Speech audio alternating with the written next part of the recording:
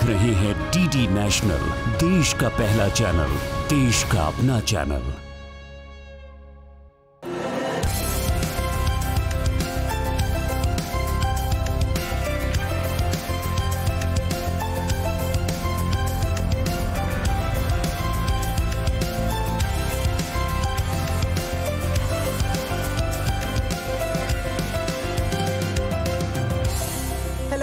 welcome to Elevate.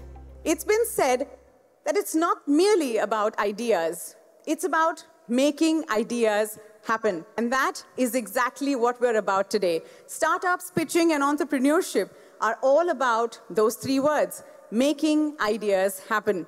With a growing economy, increasing technological advancements that are disrupting traditional business models, and of course, a large pool of talented individuals, the scope for Indian startups is immense in various sectors. Now, Elevate here, this is a pitching session that acts as the perfect bridge between startups and investors. It's been organized by the Consulate General of India, Dubai, in association with Startup India, CII, FICCI, NASSCOM, and T-Hub. The underlying purpose of Elevate is to foster innovation, to encourage entrepreneurship, and to facilitate the growth of even more startups. This serves as a platform for knowledge sharing, collaboration, and of course, visibility within the startup community. This event would not be possible without the support of our sponsors, Bank of Baroda, Upstox, Lulu Group International, and Lulu Financial Holdings. This year, India's public service broadcaster Prasar Bharati has partnered with Consulate General of India, Dubai, to convert the success of this pitching session into a TV show. Ladies and gentlemen, get ready to witness this extraordinary event, Elevate. Today, we have a thrilling lineup of nine startups from various sectors such as edtech, fintech, biotech, agri-tech, AI, and more and they're raring to showcase their groundbreaking ideas and innovations. I'd like to take this opportunity to invite up on stage the Consul General of India, Dubai, Dr. Aman Puri, to please deliver the welcome address. Can we please have a thunderous welcome? Namaskar, Salam Alaikum. Very good evening to each and every one of you. It is my privilege and pleasure to welcome all of you here for this very special session which is going to be telecast by Prasar Bharati. As you know, Elevate is itself an innovation, and the aspiration was to showcase India's innovation, to celebrate India's entrepreneurship, the hard work, the talent of the young Indians would like to take their companies to the global platform. And during Expo 2020 Dubai, we were pleased to have over 700 startups interact with their global counterparts here and meet various stakeholders in this ecosystem.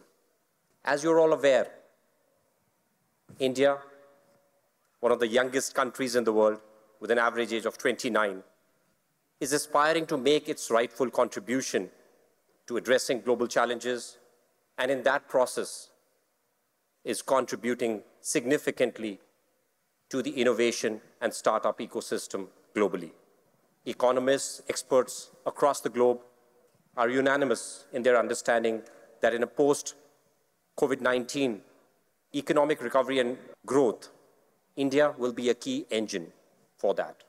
We see the startups as a very valuable and significant part of that growth and that journey.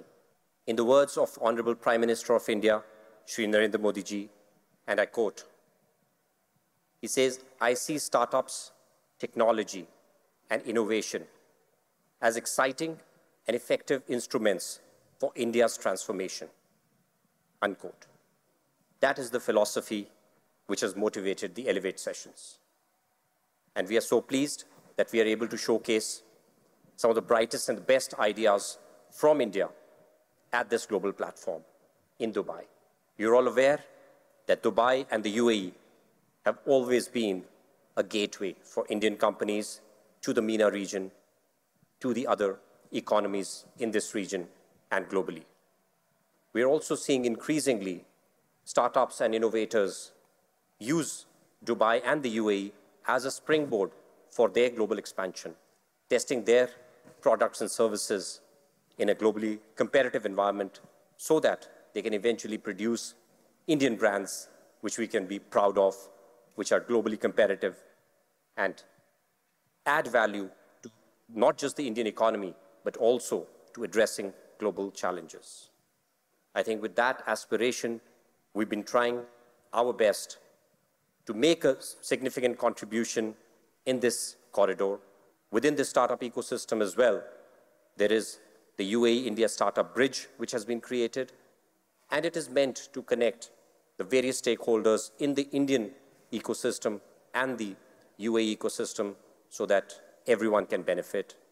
And we are absolutely certain that India and the UAE will co-create some of the unicorns of the future, will address global challenges together, contribute not just to the regional economy, but also make a significant contribution to the global economy. Thank you so much for all the partner institutions, CII, FICCI, NASSCOM, T-Hub, and all the sponsors, Bank of Baroda, Upstox, Lulu Hypermarket, and Lulu Financial Holdings for supporting this event for today. And a very special thanks to Prasar Bharati for allowing yet another platform and yet another visibility to some of the best and the brightest ideas from India. Thank you so much. It's time right now for a short break on Elevate. We'll be right back.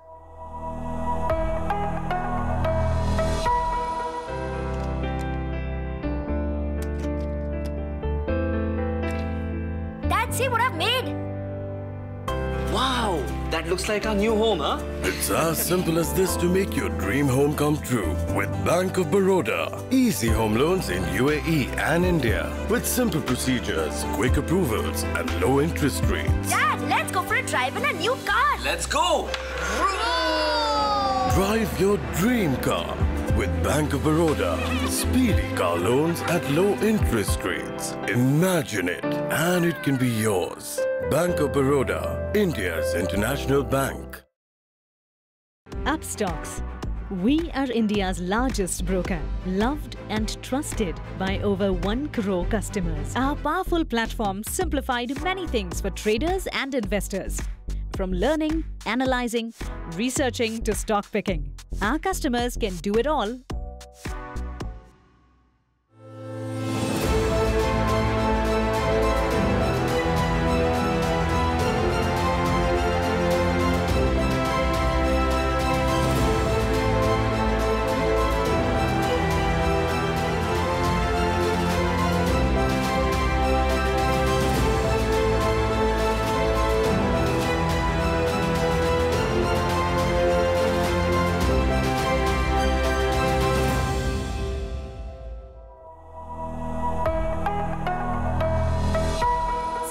significant points uh, made there this evening, and thank you so much for that, sir. Now, of course, uh, we absolutely believe when you say that there is no time like now for unicorns and startups and big ideas in India, and this uh, beautiful situation where we have the UAE and India partnering uh, over economic terms makes it even better. And of course, when you say that we're a young country with an average age of 29, it makes many of us in the room feel fantastic. Thank you so much. So here is what's going to happen. Each of the startups that's going to come up on stage, each of our pitchers, will have a limited presenting time of exactly six minutes. The clock will start ticking as soon as they take their space on the stage. I will sound a warning alarm, which is going to be at exactly five minutes so that they are aware that they have one minute to go. So all our pitchers, please do bear that in mind. At the end of your six minutes, the buzzer will go off again and you will be required to stop. But that, of course, signals the beginning of our investor time. So all our uh, investors who are eager with their queries and offers can then take over. It's time for our first pitcher this evening. Welcome Mr. Sharath Konatam from FeeMonk. Hi, I'm Sharan. I'm a founding team member of FeeMonk. We are based out of Hyderabad. In India, education being the second largest expenditure of any household, that's what keeps us going every day. I'm really honored to be here at Elevate today. Good evening, everyone. I'm Sharath. We are an edu-fintech company based out of Hyderabad, and our startup is FeeMonk. So most of you, while growing up, or you may know very close people related to you, or uh, at some point have struggled uh, with education opportunities because of lump sum fee payment requirements. And especially today in growing India, everybody wants to either upskill or join some kind of training program or a certification program so that you know, they can end up in better careers. But most of these programs cost upwards of 1 lakh rupees and one-time payments are still a problem for most of these professionals. And on the other side, even the K-12 education is private dominated in India, which is, you know, a decent school fees is upwards of 75, 80,000 per kid. And if you have two kids, you know, you can imagine the one-time lump sum payment uh, burden. So precisely that's the problem that FeeMonk is solving. Uh, the solution FeeMonk is building is basically, uh, one is for the students and the second solution is for the institutes. So on the student side, uh, we convert any kind of education fees into easy EMIs. So we partner with the schools, colleges, or the upskilling institutes and we help them offer installment options for the parents and for their students. So this is one part of the solution. The other part is for the schools and colleges, we also offer B2B receivable financing. So this is the market size of education, and uh, most of you may know India is second largest when it comes to the education sector, with 260 million kids in K-12 sector alone.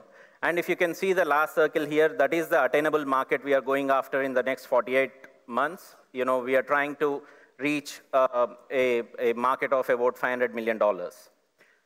This has been our journey so far. We are close to a two-year-old. Um, uh, we are reaching uh, about two years in our journey right now. We have acquired 90 clients in the B2B space. Again, these span schools, colleges, and upskilling institutes. Uh, cumulatively, we would have disbursed close to 13 crores as of today. Uh, in this slide, it shows 12 crores. Our average IRR on our lending is about 28%, and we are an RBI uh, approved NBFC. We got our license in 2021. And we recently closed two co-lending partnerships so that you know, we can capture more market with the limited capital we have. And this is our AUM trend. Um, our average CIBIL score of a consumer is 721, and average tenure is 10 months.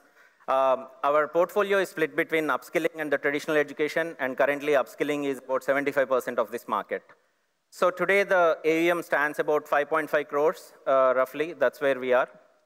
And these are some of our clients. And um, you can see that you know the average ticket size is about 1 lakh rupees. And our NPA has been really great because of the education sector and also uh, because of the founding team's uh, expertise in the credit sector we have been able to maintain a good NPA.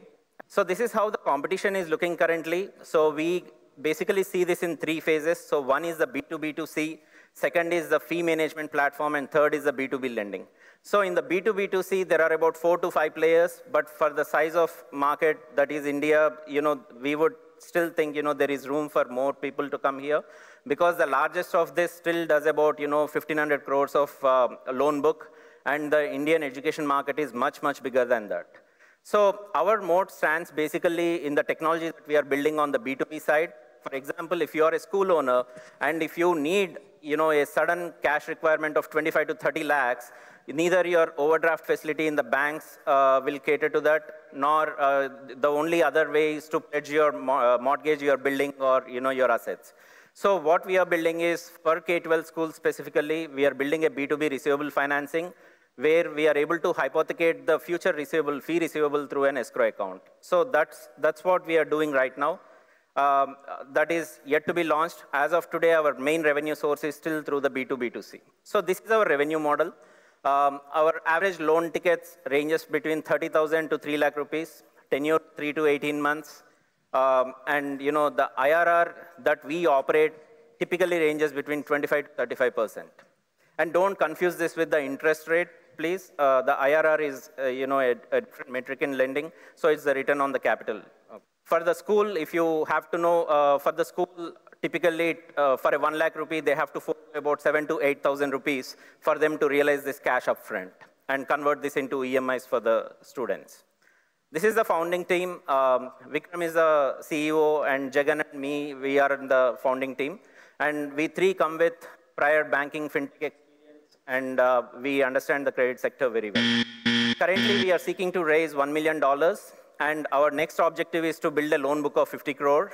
And so part of these funds will go to, you know, uh, leverage and build a loan book, uh, raise some debt fund uh, using this equity, and also uh, about 20% will be deployed on the tech and product, and also scale the sales and marketing. Well, that was fascinating. The excitement and the pitching will continue right after this break.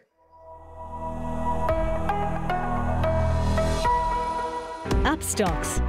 We are India's largest broker, loved and trusted by over 1 crore customers. Our powerful platform simplified many things for traders and investors. From learning, analyzing, researching to stock picking. Our customers can do it all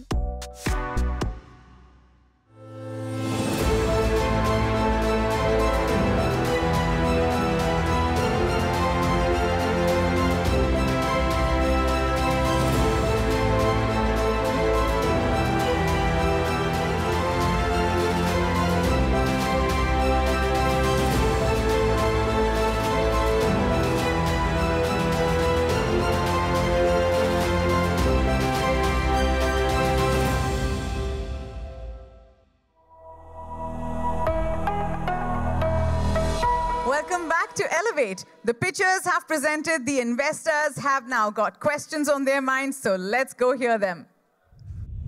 GS Periwar from Seed VC.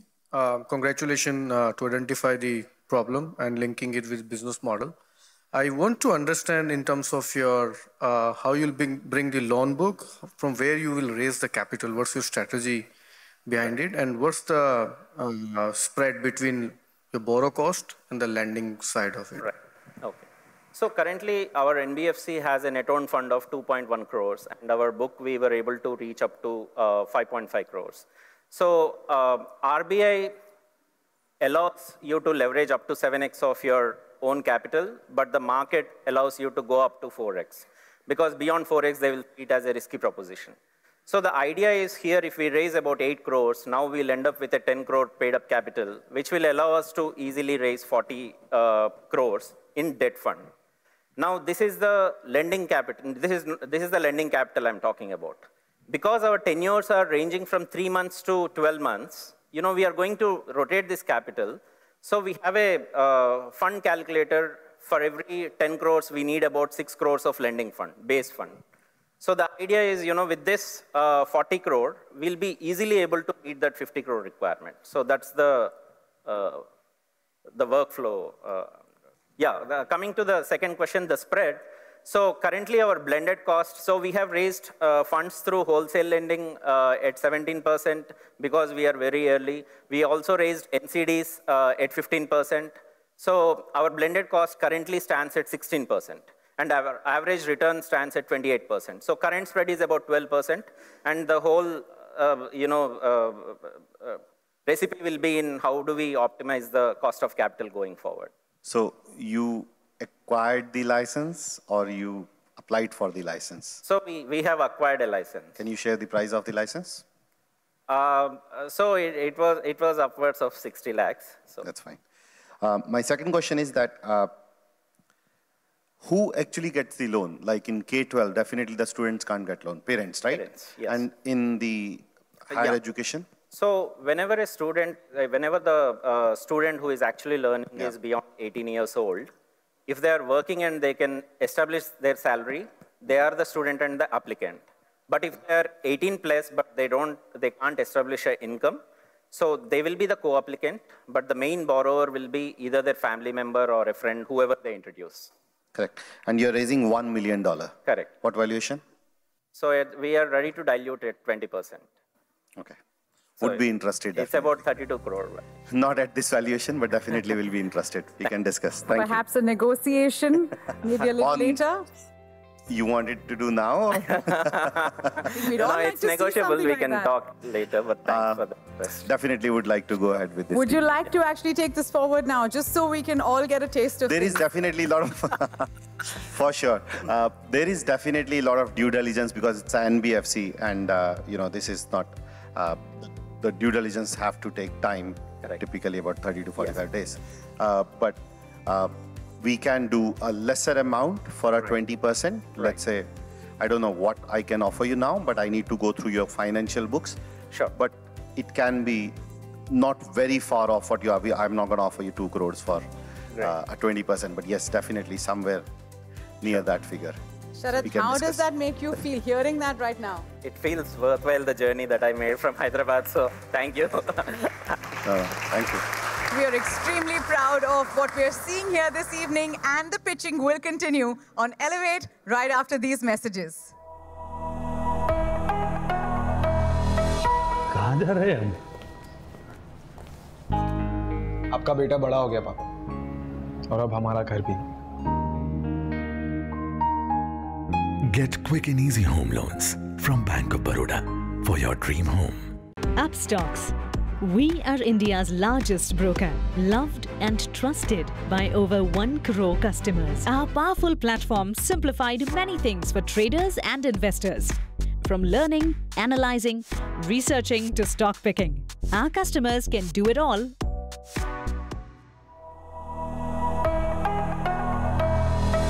Welcome back to Elevate. The pitching continues. Dharmendra Savlani from Savvy Impex. My question to you is twofold. One, you have registered yourself as a fintech sector, but I don't see a lot of tech over here. I still see it as a very conventional business. Right. So I still need to see how will you scale this business. Right. Secondly, I see a limitation in terms of growth. So every time you need to raise money, you will have to dilute equity if you go by the format that you are in. Unless you pivot into a different business model, this will again be a cap for how much money you can raise max. So let's say as an NBFC, the best case scenario, you dilute your equity as much as you can and you manage to raise equity of 50 crores, you will still be stuck at an AUM of 250 crores, let's say, roughly on that range. Right. So how do you break that barrier and how do you take care of the technology part, which I see is still missing? Uh, uh, two parts to that answer, uh, Dharmendra. So first part is, just imagine you're paying your school kid fees through online payment. So when you go to the payment gateway today, an Indian parent sees UPI, net banking, debit card, and credit card. So our idea is to add the fifth option there, pay later with FeeMonk. And that has to be enabled through technology, and that's the tech part of it, which is like 90% built, and that you're going to see it in action. So there is, this is completely. Are you there yet? That's what I'm saying. So it's, uh, you know, we are there. We haven't launched that part yet. So this is a pay later product. End of the day, the idea is to, you know, build as many avenues as possible to build this loan book. So that's the tech part of it, and that's just one example. The B2B is another example. So there are a lot of tech-driven products here which are making sure to fuel this uh, loan book pipeline. And uh, can you remind me the second question? The second question is about your limitation being an Yes. NBFC in terms of your fundraising. Correct. So I agree. So there is a thesis after Bessemer's fintech thesis that you know the lending is always the raw material itself is the capital, and so you can't keep funding it. But the thing is, if you see any successful fintech with NBFC license today in India, you know, take it KreditBee or you know Navi or anything. So at some point, you, they diversify into different things, and if you uh, and we we don't really talk about it because we are too early. But at some point, if you are a parent, you would want to see how can I build a college fund my uh, fund for my kid, or how can I protect my students, uh, my kids' fees if something were to happen to me? How can I just buy a micro insurance, not a term insurance? So there are a lot of other ancillary things that you can build for the education market.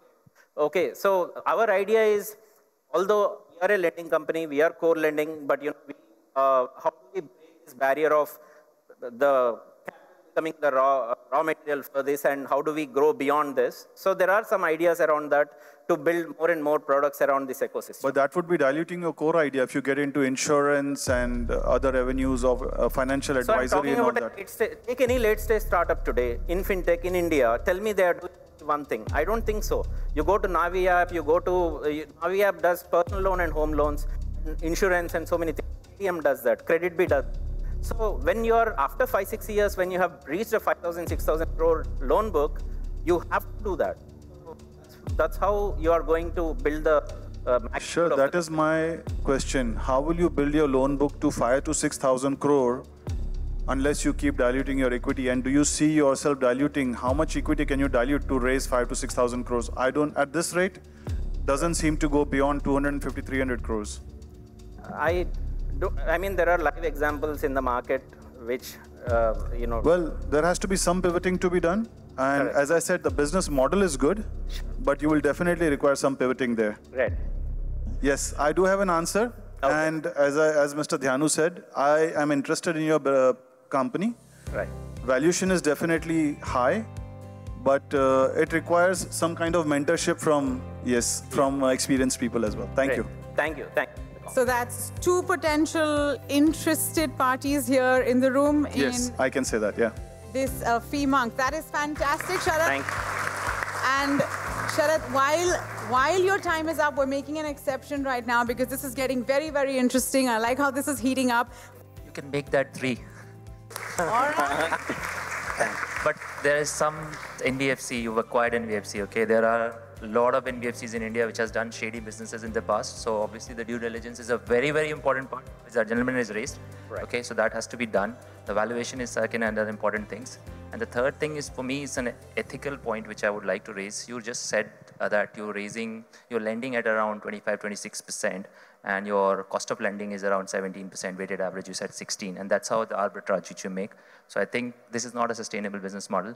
Okay, 26% lending, where the repo rate in India is around 6, 6 and a half, where the average lending rate for NBFC is around 13, 13 and a half, okay, you are actually taking double of it.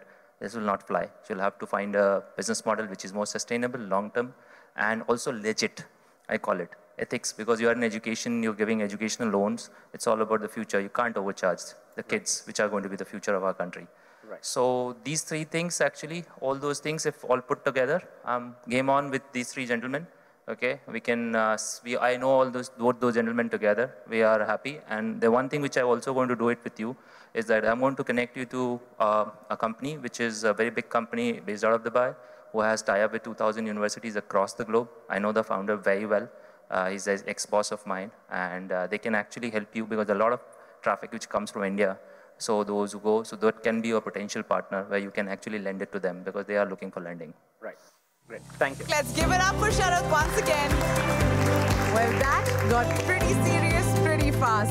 This is Elevate, and we're going to be bringing you more pitching sessions, so watch out for episode two.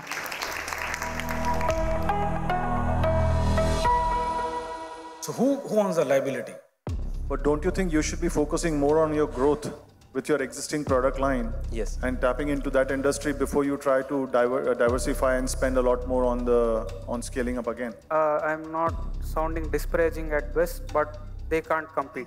You deserve a round of applause. That was a lot of grilling, and it is extremely tough to stand there and present and then answer all of these questions all by yourself.